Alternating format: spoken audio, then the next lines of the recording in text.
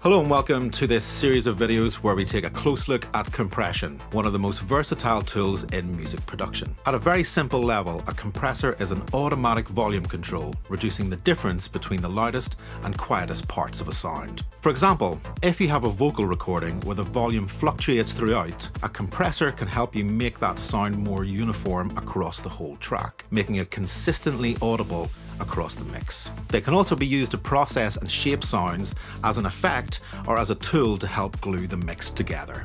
Compressors come in both hardware and software forms, but they all have the same core controls. Threshold, ratio, attack, and release.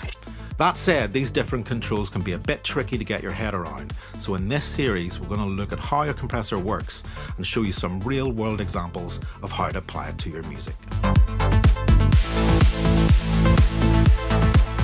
One of the first controls you will use on a compressor is the threshold. The threshold control sets the level at which the compressor starts to activate. When the incoming signal level passes above the threshold, the compressor will engage. For example, if I set the threshold at minus 6 dB, once the level of the incoming signal passes minus 6 dB, the compression will begin. Let's have a look at the waveform of this drum track. We can see that the kick and snare in the waveform are the loudest parts of the sound. These short peaks are known as transients. If we add the compressor to the drum track and press play, we can move the threshold down until it starts to reduce the volume of the transients. The lower the threshold, the more the sound will be compressed. The level of the sound has now become more uniform. The level the signal has been reduced by is called gain reduction. Most compressors will have a meter showing how much the gain has been reduced. Let's have a look at the difference that is made to the waveform. Here's the uncompressed waveform, and here's the compressed waveform. Worth noting at this point is the makeup button, which will automatically turn the output gain up to compensate for any overall decrease in volume of the track due to compression. You might find this is automatically turned on on some compressors, so you might want to turn this off as you apply your compression, then activate it again to check that the final level sits well within your mix, making adjustments on the output level if it starts to peak. Some compressors also have a makeup gain control knob. Let's have a look at how that changes our waveforms. Here's the uncompressed waveform, the compressed waveform, and the compressed waveform with makeup gain.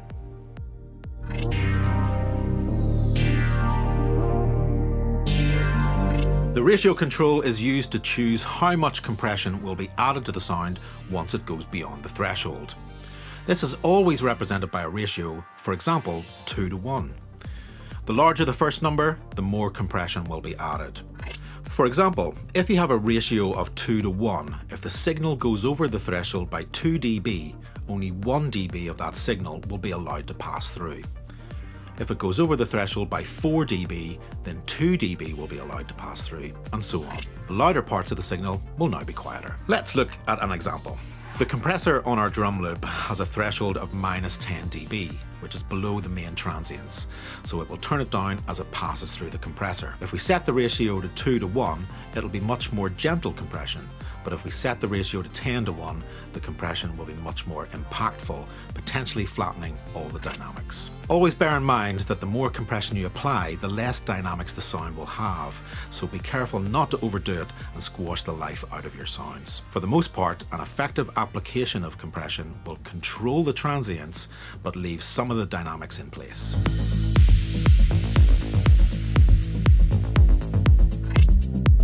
Attack time is how quickly the compressor activates after it passes the threshold. The quicker the attack time, the quicker it will begin compression. Quick attack time can be really useful if you want to control sounds with large transients like drum hits, whereas you may want a slower attack time if you want to let some of those transients through. Release time is how quickly the level returns to zero compression once it drops below the threshold. The longer the release time, the longer it takes for the volume to return to its pre-compressed level. Some compressors have an auto release button, which changes the release time depending on the type of transient. The more extreme the transient, the quicker the release and vice versa.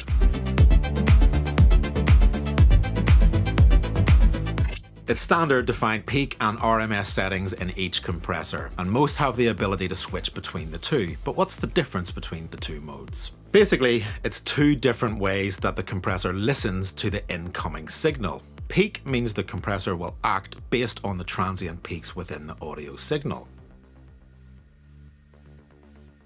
Whereas RMS is based on the average sound level of the incoming signal. The compressor will only kick in if the average sound level goes beyond the threshold for a certain period of time. RMS is better for general leveling of tracks or overall mixes, helping to smooth out the differences between the louder and quieter parts, whereas peak is used for catching and reducing transients.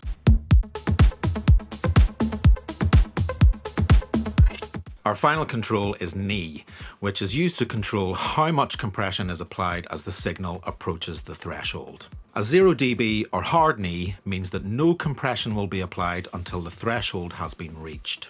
The more you increase the knee, the more it'll gradually apply compression as the signal approaches the threshold. Hard knee will give you a more aggressive style of compression, whereas a softer knee will result in a more transparent or smoother feel.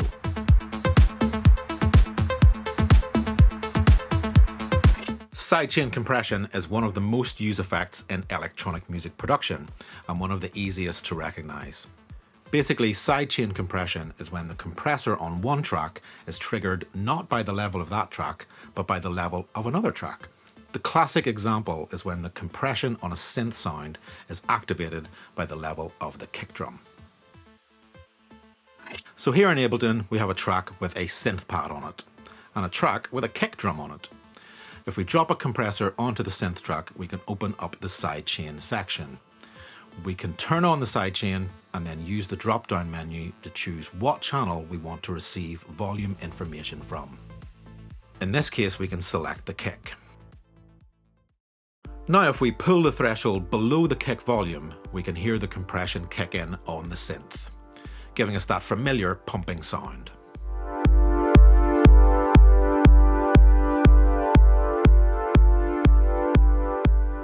You can use sidechain compression to create an obvious effect like this, or use it in a more subtle way, like applying it to a bass track to allow the kick drum to punch through the bottom end of the mix.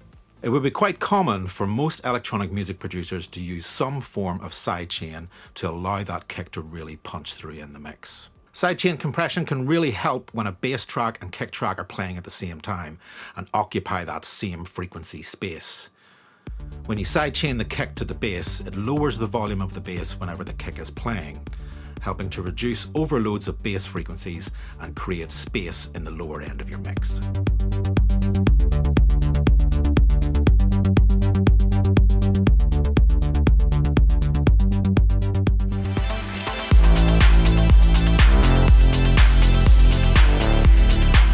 Parallel compression is a technique that combines a dry version of a sound with a heavily compressed version of the same sound as a means to add depth and aggression. For example, here's a clean drum break with no effects. On the return track, I have a compressor and I'm going to turn the ratio up pretty high and the threshold down fairly low. This will create a sound on the return track that is highly compressed. So here's the drum track solo And here's the compressed sound solo. And here are the two sounds blended together, creating a much more energetic sound.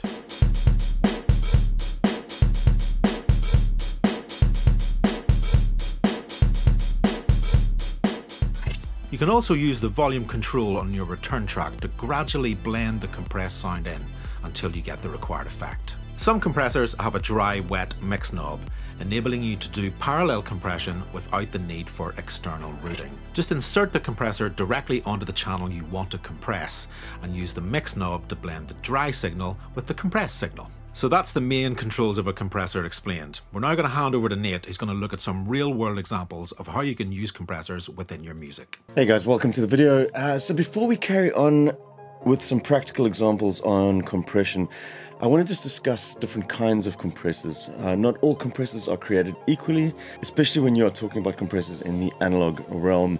The varying components, uh, either in the detection phase or in the actual compression phase itself, can radically change the tone and response of the compressor as well as the application for that compressor. So typically picking a compressor, you're going to start off picking either a digital or an analog compressor. Uh, the digital ones are mostly quite predictable and surgical. They'll be applicable to pretty much anything across the board. But that said, they won't add any specific character or mojo or musicality to your audio. So you may want to be looking at an analog compressor instead. If you're picking an analog compressor, you're typically going to be concerned with four different kinds, namely VCA, FET, opto and tubes. Uh, we're going to look at the VCA and FET very briefly. First, VCA, basically the names come from components inside of the compressors.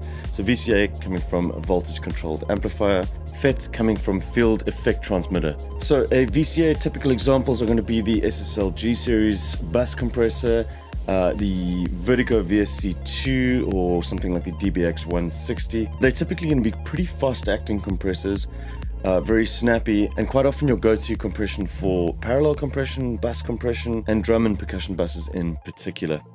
Uh, the FET as well, these are very similar to the VCA ones. They also are pretty snappy, pretty quick response to your audio. Again, they're great on drum buses. A classic example of this would be the 1176 limiting amplifier or compressor. Moving on to Opto. Uh, so opto comes from optical compressors. So in the detector phase, when it's reading the audio and determining what to compress, the internal circuitry of an opto actually uses an LED light to detect the peaks and judge the gain reduction that is done after that. Without getting into too much of the technical side of it, uh, it does result in a bit of latency in the compression and typically has a smoother, more rounded uh, behavior and thus it's used on vocals quite often. Very good example of this is the LA2A, classic compressor used in countless records for vocal tracks. Uh, another good place to use this would be on a bass channel, for example, as it doesn't tend to squash the lows as quickly as a VCA or FET would quite often. So tube compressors, uh, quite often you'll also see the terminology Vari-Mu or Dyna-Mu and so on um, or MU compressors. Uh, so the tubes, essentially, it, it is what the name implies. They consist of tubes inside of the circuitry. Uh, good examples of this would be the Fairchild compressor, Manley's Vari-Mu compressor, uh, also something like SPL's Iron, also a tube compressor. And these are, again, similar to opto compressors whereby they're a lot more smooth, a lot more musical. They work fantastically as levelers as well, whereby you're not controlling peaks so much as or, uh, so much as you're controlling the overall level of something. These can work great on buses and overall mixes as well, like I said, to control leveling rather than just controlling small peaks. They're also fantastic on vocals and a number of other applications as well. Furthermore, a couple of other terms that you're going to see, we're not going to cover them in detail. Feed forward, feed backwards. It's another form of circuitry used in compressors, which I'm not going to get into too much detail with. You'll also probably come across uh, multi-band compressors. We'll cover this in a subsequent video as well, but that's essentially compressors that are focused on a small uh, area of the frequency band, all with independent settings, so you can have a compressor for the lows, the mids, and the highs. Uh, furthermore, there is spectral compression, which we're not going to cover too much, but that's essentially the same as multiband compression. However, you are technically talking about hundreds of bands rather than three or four like you would in a normal multiband compressor. And lastly, uh, you'll come across limiters quite often. They're used a lot in tracks. A limiter is essentially just a compressor with a really, really high ratio, which results in audio being basically cut off very sharply when it passes the threshold. Essentially anything like a 100 to 1 uh, ratio and in excess of that.